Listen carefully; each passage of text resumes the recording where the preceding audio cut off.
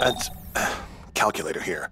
I'm not sure how to tell you this, but Metropolis has been overrun by leprechauns. Or rather, by a fifth dimensional being known as Mr. Mxyzptlk. He set up shop in the Hall of Doom, and we cannot get him to leave. Maybe you'll have better luck. Greetings and salutations, Earth idiot! I am Mr. Mxyzptlk, a being from the fifth dimension. I understand you Earth chumps have a legend about little green men.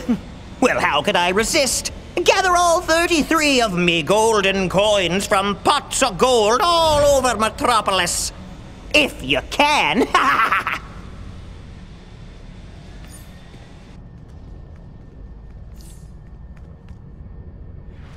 What's that? You haven't found any little green men hopping about Metropolis? Get your hands off of me golden coins! Psych! Fool's gold! no more golden coins for you! Hands off the stash, Earth chump! Those are my golden coins!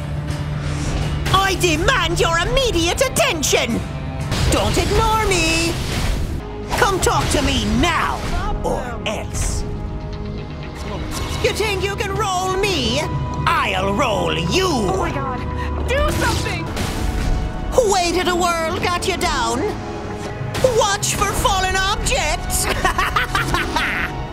Time is up, super chump! Don't they have the golden rule on this dumb planet? Watch for fallen objects! hey! The gold ATM is now closed for business!